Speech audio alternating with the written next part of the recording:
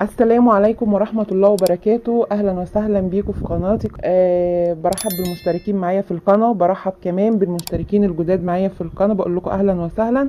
وبقول لك لو أنت لسه جديد معانا اتفضل اشترك وفعل الجرس عشان يوصلك كل جديد إن شاء الله. هنقول مع بعض النهاردة القراءة العاطفية لمواليد برج العقرب. نبدأ بسم الله الرحمن الرحيم. أهلا وسهلا برج العقرب. هنقول طاقة برج العقرب الأول في الفترة دي. آه طاقتك أنا شايفاها حلوة جدا. أنا شايفة طاقة انتصار. آه شايفة كمان قوة وثبات.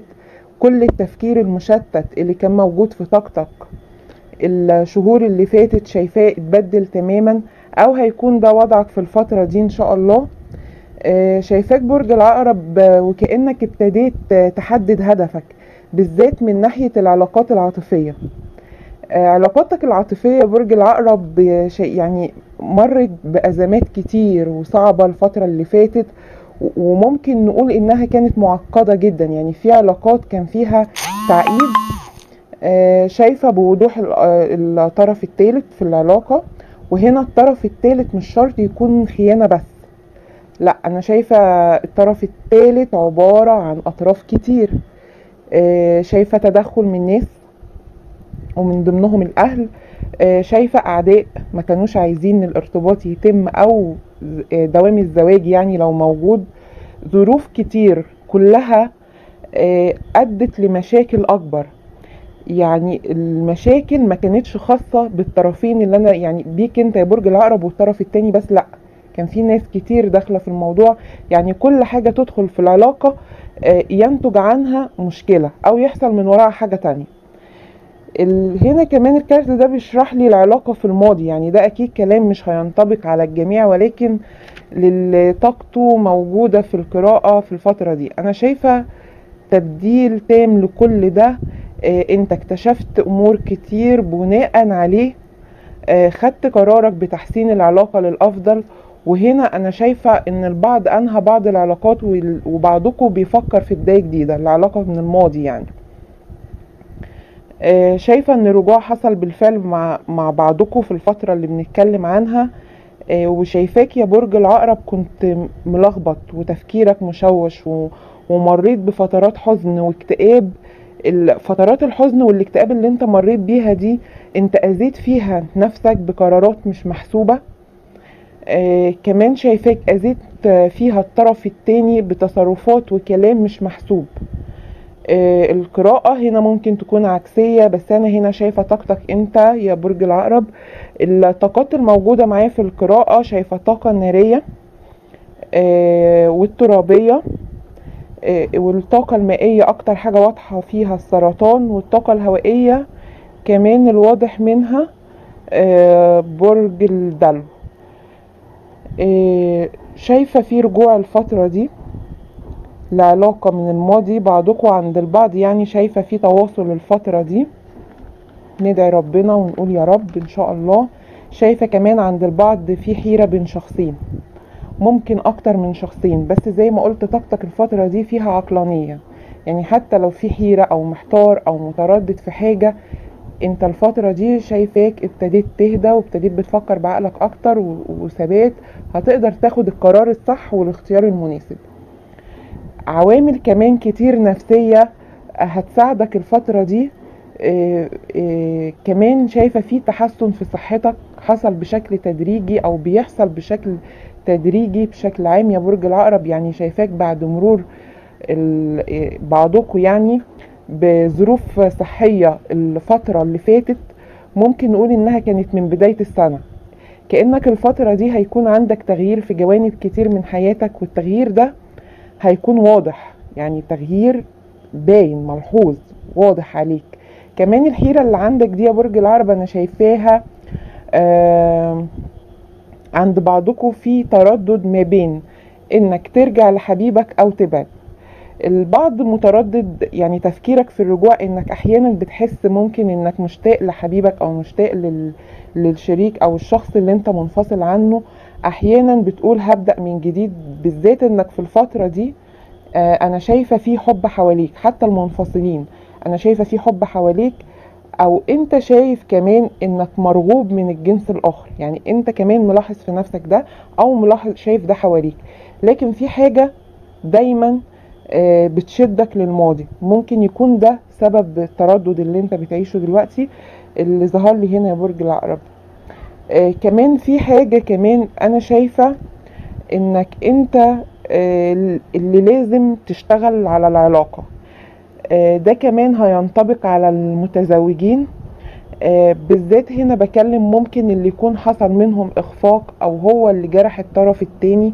شايفة البعض منكم تعرض لخيانة يا برج العقرب. الخيانة دي كانت آه، ممكن نسميها بمثابة انكسار ليك. أنا شايفة بعضكم اللي عمل كده في الشريك والبعض الشريك هو اللي عمل كده معي آه، المهم إني شايفة إن أنتوا الاتنين بتعانوا. أنتوا الاتنين بتعانوا من اللي حصل ده.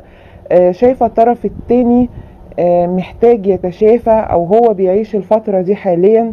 آه، شايفة كمان للمنفصلين يا برج العقرب إن أنت اللي قررت البعد. عند بعضكم أنت قررت تبعد. أنهيت العلاقة أو ده اللي واضح للطرف التاني.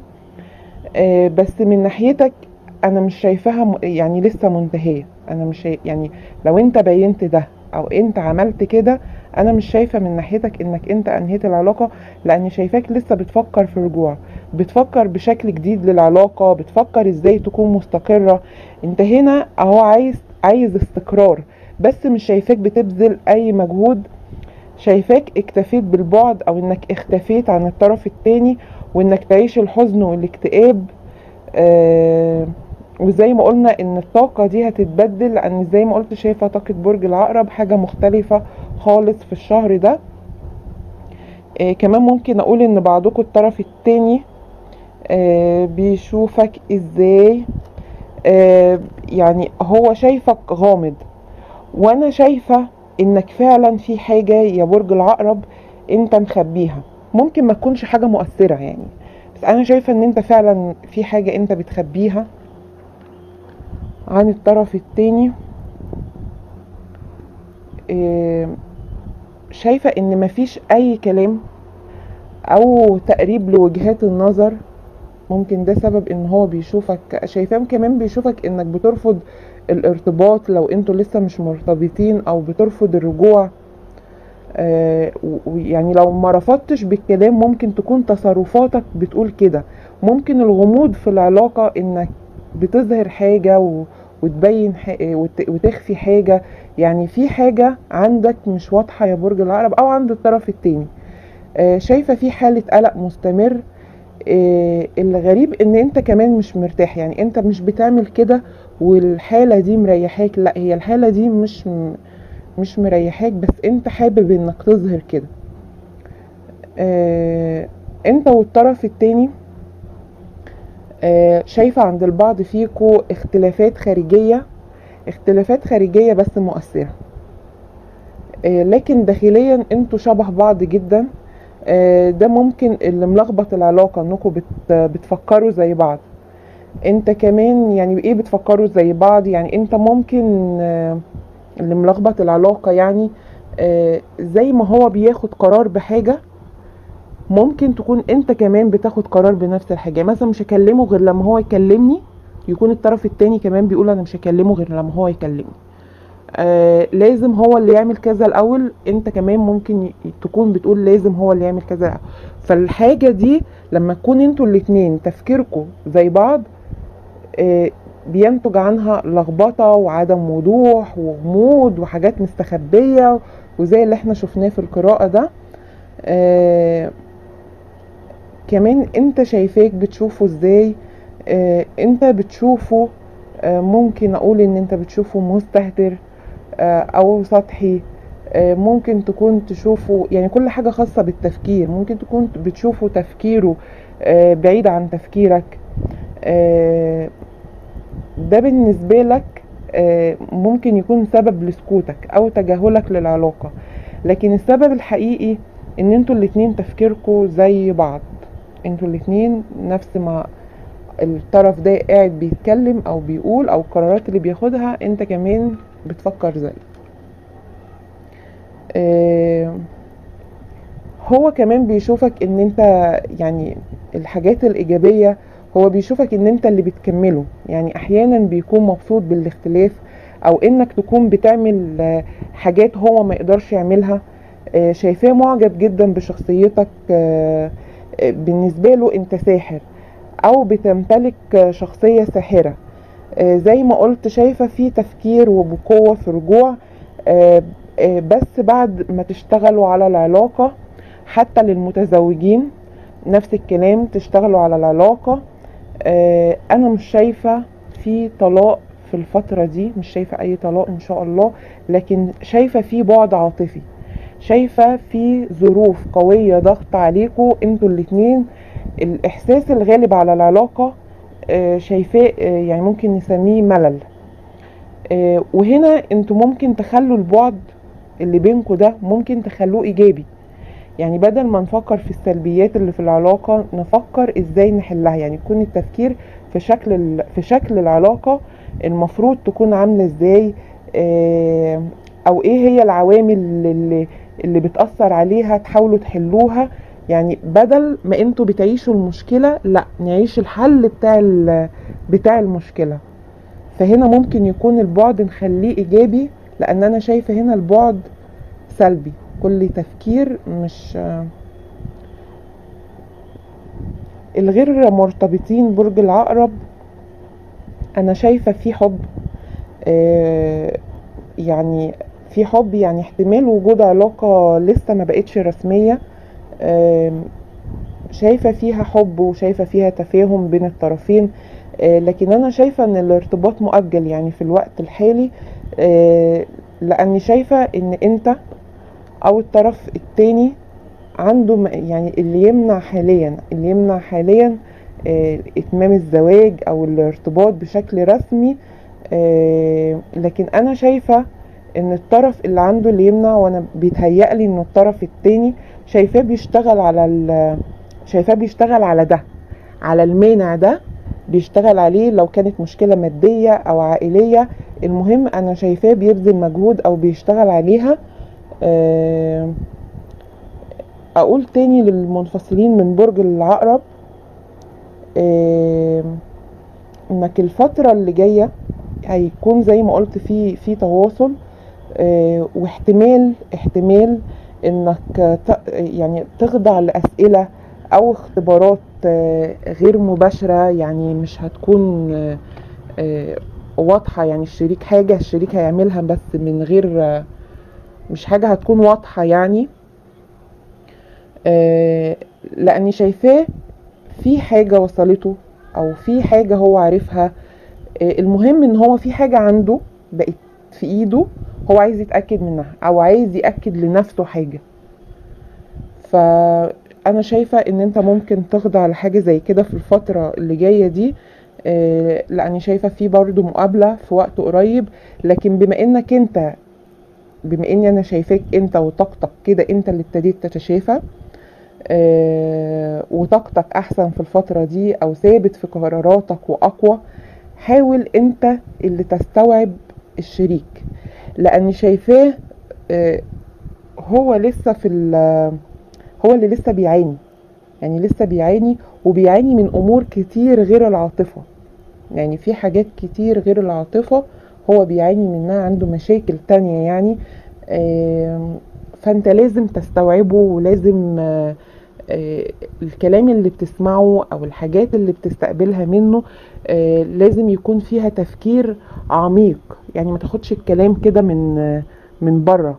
لا بص للإنسان اللي اللي قدامك هو بيتكلم إزاي هو إيه خلفيته هو إيه إحساسه آه، بناء على إيه بيقول الكلام اللي هو بيقوله أو الأسئلة اللي هو بيسألها اللي هو تفكير عميق بالمعنى ده.